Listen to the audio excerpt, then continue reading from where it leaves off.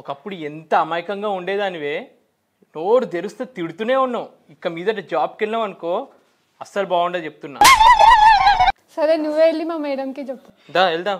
నీకు అంత భయం అయితే నేనే చెప్తా మీ మేడంకి. ఆ, అవన్నీ అక్కడ పెట్టేసాయి. ఇక్కడ నుంచి ఇక్కడ తీయండి. అలా చెత్త అంతా అక్కడ ఎందుకు పెట్టారు? ఇక్కడ మీ పెట్టండి మేడమా అద్వితి. నమస్తే అండి. మీ హస్బెండా? ఏంటి ఇక్కడ ఉన్నావు డ్యూటీ టైం అయింది. ఇంకా బయట తిరుగుతున్నావు? సారీ అండి. ఇక్కడ నుంచి మీ దగ్గర పని చేయదు మా అద్వితి ఎందుకు? ఏం జరిగింది? ఒకప్పుడు ఎంత మంచిగా అమాయకంగా ఉండేది ఇప్పుడు మొత్తం నన్ను ఆటాడిస్తుంది. అంతే మీ మగాళ్ళు ఆడవాళ్ళని తరతరాలుగా అనగదొక్కేస్తున్నారు. తన కాళ్ళ మీద తను నిలబడుతోంది కొంత డబ్బులు సంపాదిస్తుంది ఫ్యామిలీకి అండగా ఉంది. హ్మ్, తన కాళ్ళ మీద నిలబడితే నేను ఆనందిస్తా. కానీ నా తల మీద కూర్చొని నన్ను ఆటాడిస్తుంది. దీనికి అంత ఇన్స్పిరేషన్ ఎవరో తెలుసా? ఎందుకులే? ఏం జరిగింది అసలు చెప్పండి. మీరు మీ ఆయనని రోజు షాప్లో తిట్టి తిట్టి అవే తిట్లు నేను షిప్ నుంచి దిగిన తర్వాత రోజు నన్ను తిడుతుంది. అసలు ఏం మాట్లాడుతున్నారు మీరు? మా ఆయన నేను దేవుళ్ళ చూసుకుంటాను. ఆయన నాకు దైవంతో సమానం.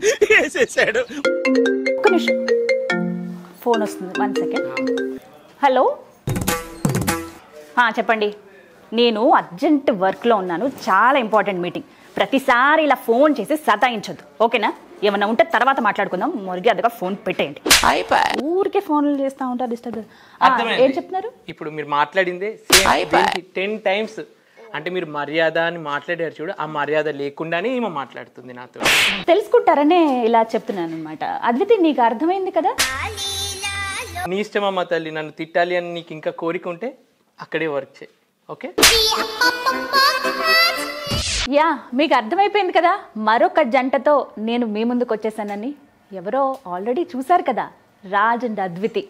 ఎంత చక్కగా చేస్తారు. అటు జోష్లో ఇన్స్టాలో యూట్యూబ్లో అసలు మామూలు వీడియోసా.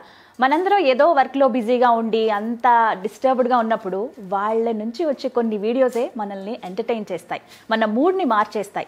అందులోనూ రాజ్ అద్వితి వాళ్ళ డాటర్ ఆ చిన్ని తల్లి చేసే ఆ చిన్న చిన్ని చిలిపి చిలిపి చేష్టలే మనకి ఇంకా నవ్వు తెప్పిస్తాయి.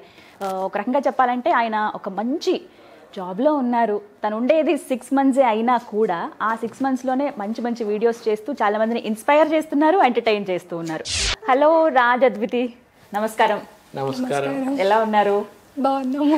ఎస్ ఫస్ట్ ఆఫ్ ఆల్ మీకు salute thank you so happy మీలాంటి వాళ్ళతో మాట్లాడడం. సర్వీస్ కదా అది. ఎందరికో కానీ ఆ అవకాశం రాదు. మీకు వచ్చింది.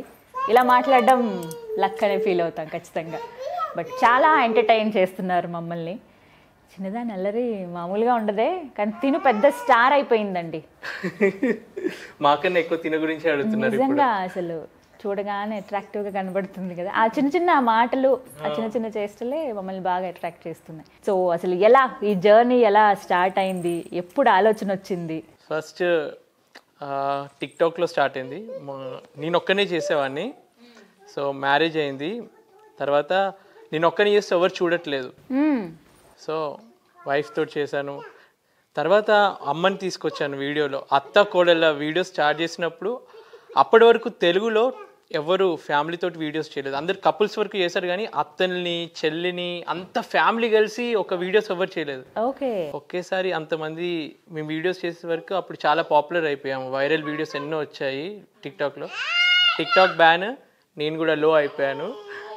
అందుకే మళ్ళీ రేజ్ అవుదామని చెప్పి యూట్యూబ్ స్టార్ట్ చేశాను. YouTube is now like my passion ఈ వర్క్ ఏమో ప్రొఫెషన్ అదేమో నా ఒక ఇంట్రెస్ట్ ఉంటుంది కదా మనిషిలో ఎప్పటి నుంచిలో చేయాలి అని చెప్పి ఆ ఇంట్రెస్ట్ తోటి యూట్యూబ్ ఎలాగైనా సక్సెస్ అవ్వాలని ఒక ఎయిమ్ తోటి చేస్తుంది. ఎస్ రాజశేఖర్ గారు మీరు ఫస్ట్ చేసిన వీడియో. నేను ఫస్ట్ మా మ్యాచ్ సెట్ అయిన తర్వాత నాకు డైరెక్ట్ ప్రపోజ్ చేయడానికి కొంచెం సిగ్గు ఎక్కువ అందుకని నువ్వు నేను సినిమాలో ప్రియతమ ఆ సాంగ్లో ఐ లవ్ యూ అని ఒక సెంటెన్స్ వస్తుంది. ఐ లవ్ యూ అంటున్నది తెలుసా? ఆ బిట్ చేసి ఫస్ట్ తినకు పంపాను. అప్పుడు స్టార్ట్ అయింది మా లవ్ జర్నీతో పాటు సోషల్ మీడియా జర్నీ కూడా స్టార్ట్ అయింది. ఫస్ట్ వీడియో అయితే అది. అలా ప్రపోజ్ చేశారనమాట ఫస్ట్ అరేంజ్ మ్యారేజ్ అయితే. అరేంజ్ మ్యారేజ్ ఈమెని ఎవరు లవ్ చేయలేరు. ఎందుకని? ఆమె అసలు ఎక్స్ప్రెస్ చేయదు. మీరు రేసుగుర్ర మూవీ చూసారా? చూసాను అందులో శృతి హాసన్ ఎలా లోపలనే మొత్తం ఫీలింగ్స్ అన్ని పెట్టుకుంటుందో అలా అన్నమాట. ఏది బయటికి మా ఎక్స్ప్రెస్ చేయలేదు ఎక్కువ. ఓన్లీ ఇప్పుడు పెళ్ళైన తర్వాత నా దగ్గర మొత్తం అన్ని మీరు మార్చేశారా? ఆ, మొత్తం నా మీద రౌడీజం అంతా చూపిస్తుంది. ఎందుకని అలా? అలా ఏం లేదు. లేదు అలా అనుకుంటున్నారు అంతేనా? అవును. కొన్ని కొన్ని అంతే ఏం చేయలేము మరి మనం. అలా అనుకుంటారు అంతే. యా. నవ్వుతున్నారే చక్కగా అసలు నవ్వరు లోపలే దాచుకుంటారని అన్నారు. ఇప్పుడు నేను బతిమిలాడాను. నువ్వు ఇన్నిసార్లు నవ్వుతే ఇంత కొనిస్తా అని చెప్పాను. అన్నిసార్లు నవ్వుతుంది ఇప్పుడు. కొనివ్వడం అంటే నాకు ఒకటి గుర్తొచ్చిందండి. ఎప్పుడు ఏ గిఫ్ట్ అడగలేదు కదా ఈసారి అడగమ్మా అంటే చక్కగా ఆవిడేదో ఆశగా చెవులకి నడుముకి మెడకి అని అడగగానే ఏం చెప్పారండి? ఒక్కసారి అది నాకు చేసి చూపిరా ప్లీజ్. ఇన్నేళ్ళైంది నాలుగేళ్ళ నుంచి వెళ్ళి ఒక్కసారి నోరు తెరిచి ఏదైనా గిఫ్ట్ అడగలేదు. ఈసారి అడుగు నువ్వు ఏదంటే అది కొనిస్తా. నా మెడకి ఒకటి చేతికి ఒకటి నా నడుముకి ఒకటి ఏ ఈ మాత్రం దానికి అంత సిగ్గుపడతారా బాడీ లోషన్ కదా కొనిస్తా. ఈ యానివర్సరీకి అయినా ఏదైనా అడగవే నోరు తెరిచి గిఫ్ట్ కొంటా. ఇప్పటి వరకు నోరు తెరిచి ఏది అడగలే. చెప్పు ఏం కావాలి?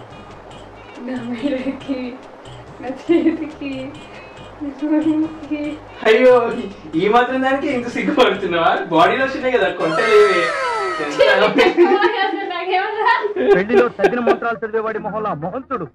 పోతావు రే నాశనం అయిపోతావు. కర్మరా నాయన.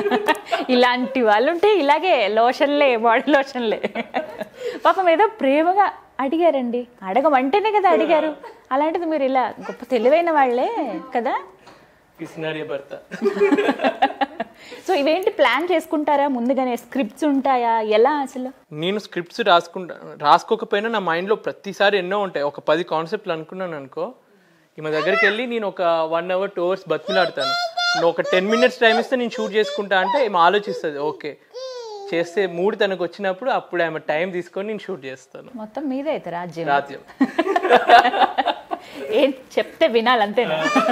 అస్సలు అలా కనిపించట్లేదు అద్వితి గారు. అద్వితి మీరు వర్కింగా లేదు లేదు. లేదు. హౌస్ వైఫే తను వర్క్ చేస్తా అంటే నాకు ఏమి ఇబ్- ఇబ్బంది లేదు. తను వర్క్ చేసినా హ్యాండిల్ చేస్తాము. కాకపోతే ఇప్పుడు తను కొన్ని కోర్సెస్ నేర్చుకుంటుంది. She wants to work in future మీకు ముందే జాబ్ వచ్చిందండి?